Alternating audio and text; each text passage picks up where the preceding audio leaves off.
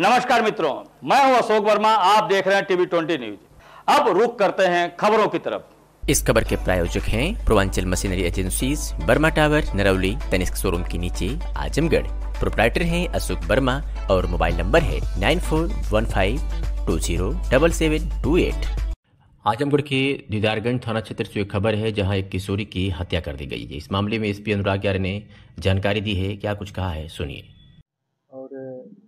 आपको जानकारी मिली है तो आप इसमें पहुँचे हैं। आज दोपहर को थाना दीदारगंज अंतर्गत सुरहन गाँव में सूचना मिली थी कि एक 21 वर्षीय बच्ची जिसका नाम शबनम पुत्र जैतू पुत्री जैतून राजभर है इनके गर्दन के पास कंधे में चाकू मार के हत्या कर दी गई है।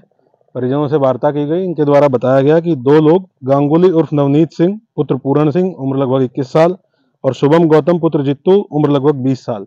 इनके द्वारा ये घटना कारित की गई है।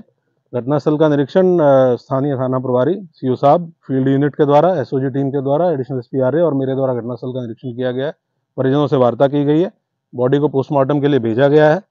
जो अभियुक्त हैं, वो इसी गाँव के रहने वाले हैं। इनकी गिरफ्तारी के लिए पाँच टीमें मेरे द्वारा गठित की गई हैं और बहुत कठोर कार्रवाई पुलिस के द्वारा सुनिश्चित की जाएगी। परिजनों से भी वार्ता की गई है। जो मृतका हैं, उनकी माताजी से भी वार्ता की गई है और यही आश्वस्त किया गया है कि पुलिस बहुत कठोर कार्रवाई इसमें इंश्योर करेगी और बहुत जल्दी कार्रवाई इंश्योर करेगी। तो परिवार को सहायता भी की बात हुई। जी उसके लिए भी डीएम साहब से वार्ता हुई है जो भी विधिक रूप से संभव है वो सारी सहायता परिवार की की जाएगी।